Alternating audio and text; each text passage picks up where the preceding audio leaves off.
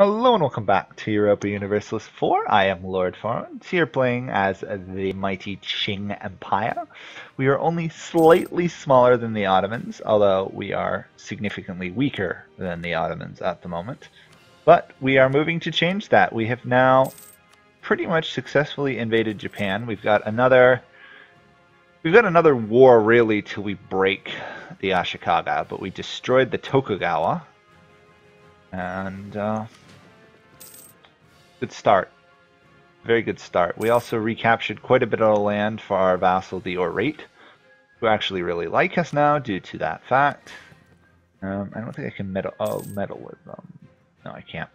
Okay, I could enforce religion on them, but I think that would be a bit cruel, especially since I don't think they have religious ideas.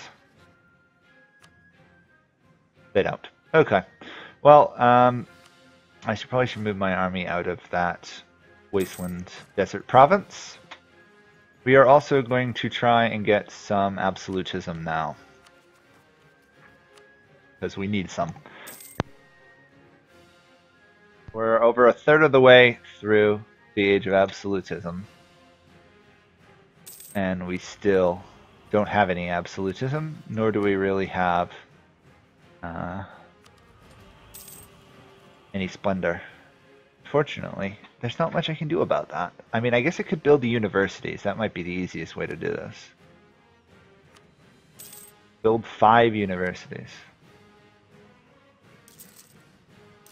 Well, we can start with two.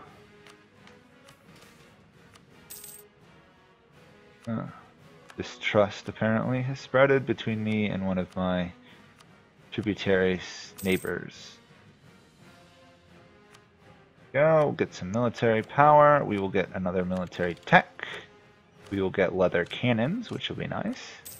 And we will also snag another idea group, which we will do probably military offensive, just because the sheer stacking value with our double shock on top of the free one we get from movement, on top of another shock upon another fire is absolutely ridiculous we will have one heck of a military.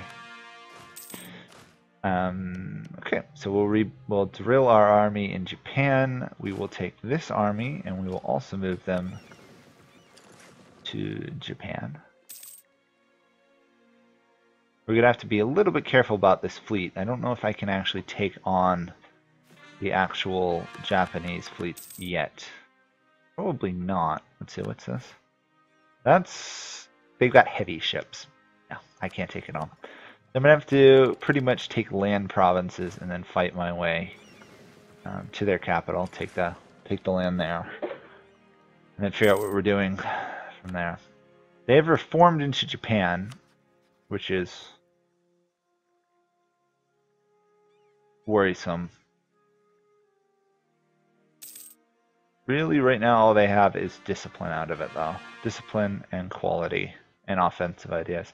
They've yet to get their infantry combat from their finishing ideas, it looks like.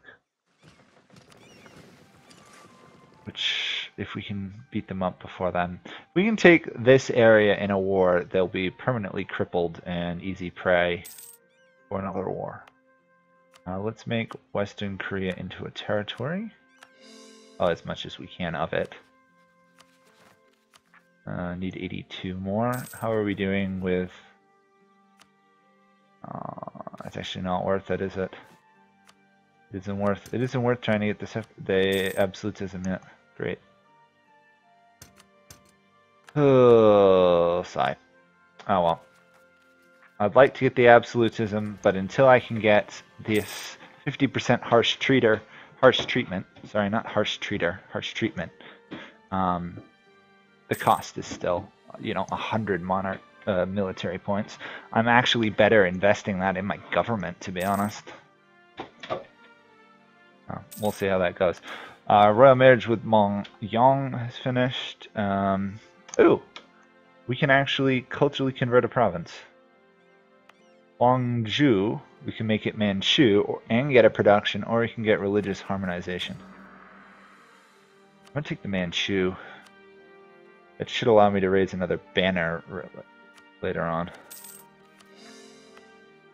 I don't know. Yeah, I can actually raise a banner there now. I could raise quite a few banners. Wow.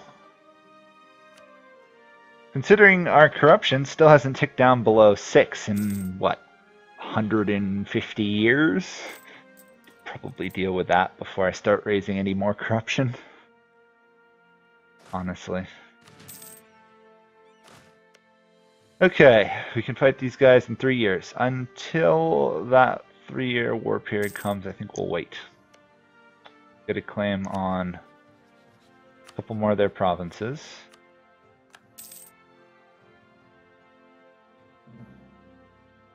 Stop improving relations with the Oirat, because we're already pretty good relations with them. Fabricili came on Mongolia. I shouldn't even need to send troops. I should be able to sit back, let the Oirat do it for me. The Oirat is up to 13 troops, so that's good. Buryatia is happy. Pretty much all my tributary states are doing fairly well.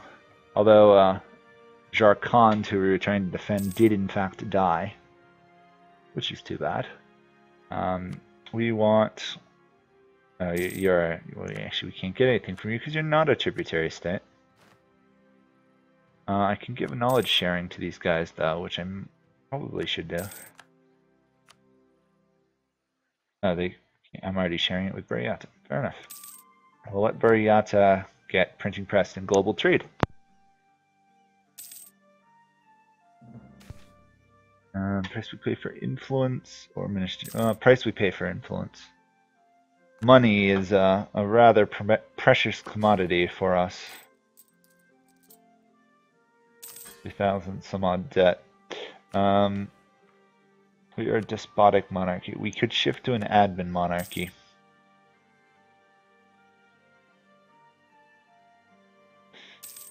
Probably should do that, shouldn't I? Okay, switching monarchy. We're going to lose... Actually, we're not going to really lose much. We're just going to lose one uh, unrest. And we already have Pigtailor Death, so that helps quite a bit. Yeah. Pretty good shape. As long as we're positive, we've got very good uh, unrest control. I mean, I could make it really ridiculous and go humanist, but that's not worth it. Let's get another claim on another Japanese province. Hopefully one I border this time. We're going to leave Korea to um, be occupied by my vassals slash vassals. I'm not making any of them a march. I don't need to. Although the Oirat would make a fairly good march. We won't do that. Instead, we will pick a fight with these guys in June. Now let's raise my forts. Uh, make sure that somehow the Mongolians don't somehow sneak a province on me. Uh, one of our people died. Reinforced speed should be good. Be very good. And there we go. We'll declare Mongolia. We will sit back. We will raise war taxes. We will prosper. And we won't even have to do anything. We should win that war without even trying. Our next target might need to be Kazakh and Yarkand. We'll see. I wouldn't mind beating up Russia again, but Russia has already pretty much hit their full size. They're not going to get any larger other than invading Europe. Or invading the steppes further, I guess. Russia's got a vassal, so... Prussia apparently got independent somehow. And I was right, my really good heir I got a couple episodes ago just died. Eh. Typical. Typical, typical, typical. Prussia does not have the Prussian government form, sadly.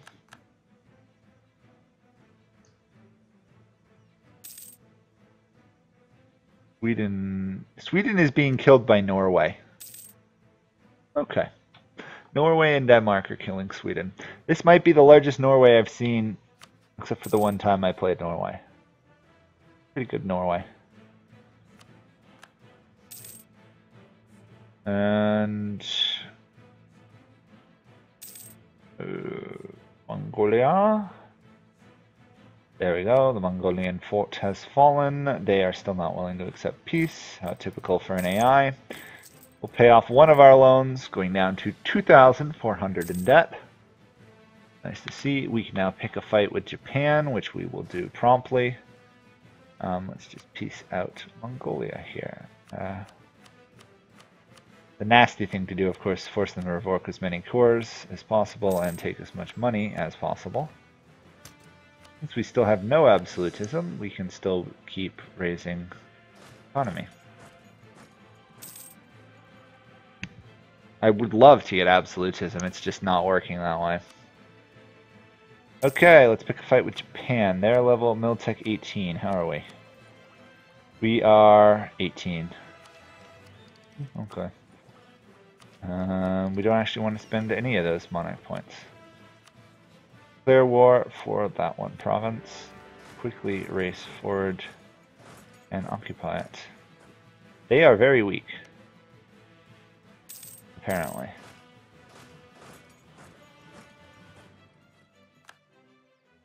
Of course it is Japan, so weak is a relative term. Very relative. Um, I should be able to sit back and let my vassals occupy that region. I'm not too worried. If we take this fort, we can then move on to Kyoto, and then we should be good on that front as well. Tech-wise, we're doing good there. Offending everybody by protecting my own trade, but that's the way it goes. Let's get you out of here before the Japanese fleet destroys you. Go. Mongol separatists have returned. I believe I can trust my vassals to take care of them, although I'll have to keep an eye on that. Let's that tech, the admin tech. We're actually now ahead of time in admin, well, ahead of our other scores in admin tech, which might be a first. Today we've been behind in admin tech pretty much the whole game. Nice to be ahead for once.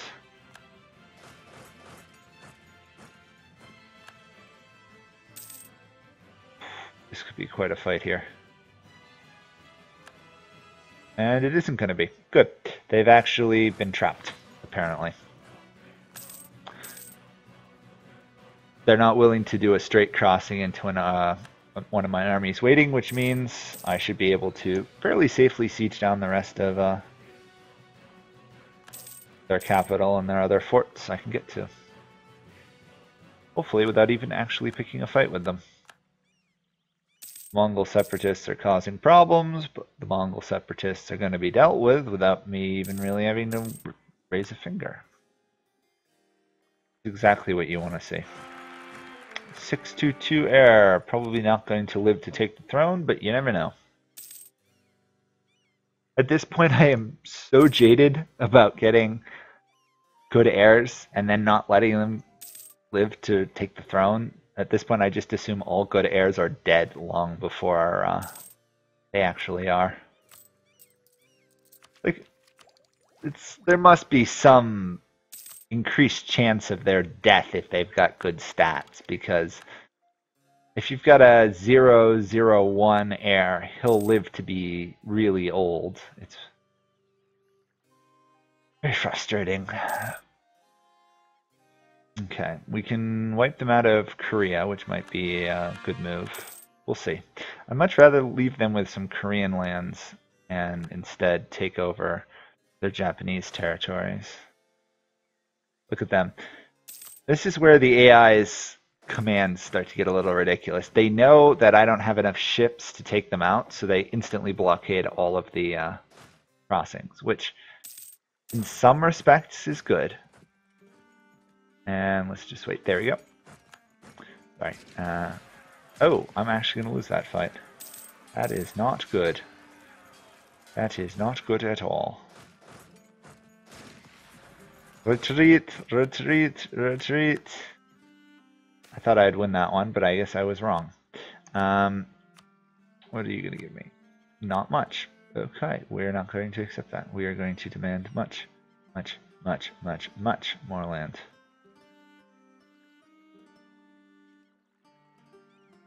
Yeah.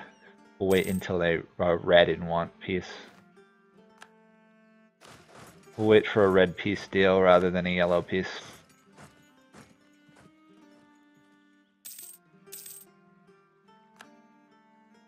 Uh, we could now fight the Oirat again, but we don't need to because they're already a vassal.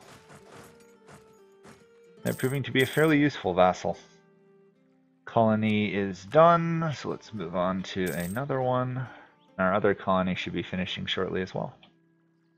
Our name is getting larger and larger and larger without us even having to do anything. Isn't it wonderful? We all know, of course, names are power. The larger the name, the greater the power, which is why the Ottomans, despite as big as they are, are still weaker than me and Russia. There we go. This should be the end of the Japanese military here, or at least their big army, if I can uh, ambush them.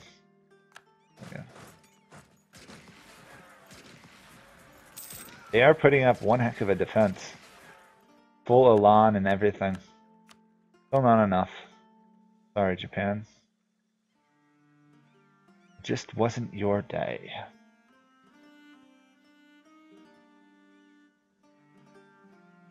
Yeah, that might be as much as I can take, but still, that pretty good start.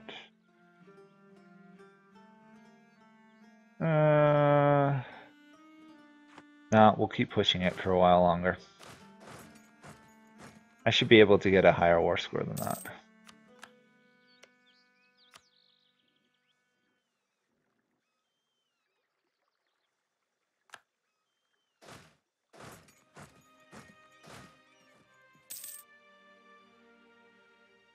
As long as I don't let them retake their forts, we should be good.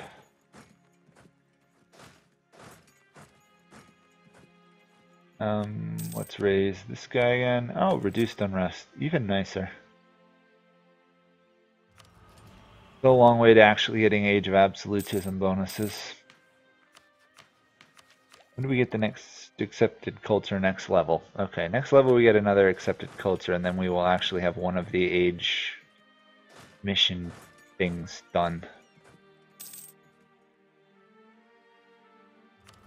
What are these technically called? they don't actually have a name, apparently.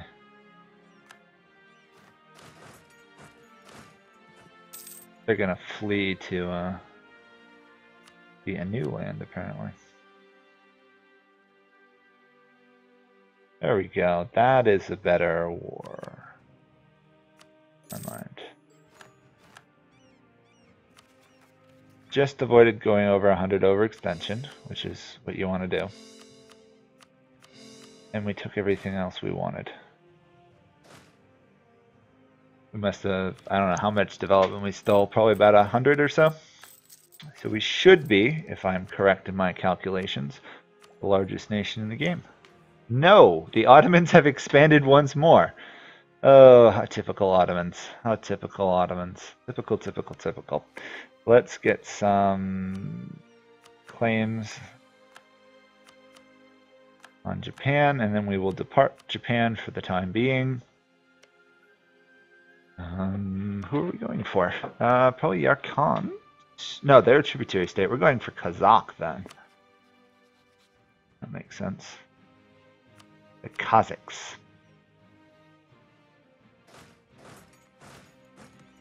And let's transport you off this island. Uh, still have no absolutism, so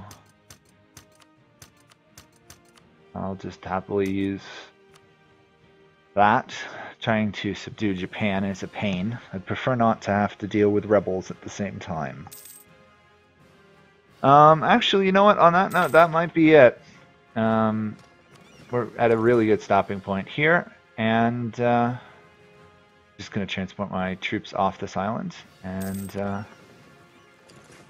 prepare for an invasion of Kazakh and prepare for an invasion of Yarkand both at once. We should be able to win that, especially if we have level 19 Miltech. So that's the plan. Um, at this point, I'm just going to keep expanding as long as I can before I actually take Mandate of Heaven, because no one is supporting the Ming. So. Um, existing colony. Um, else to claim? We don't really need a claim on our vassals' lands, and I messed that up. Okay, well, on that note, that will be it for this episode, and I will see you guys all next time. Thanks for watching. Bye for now.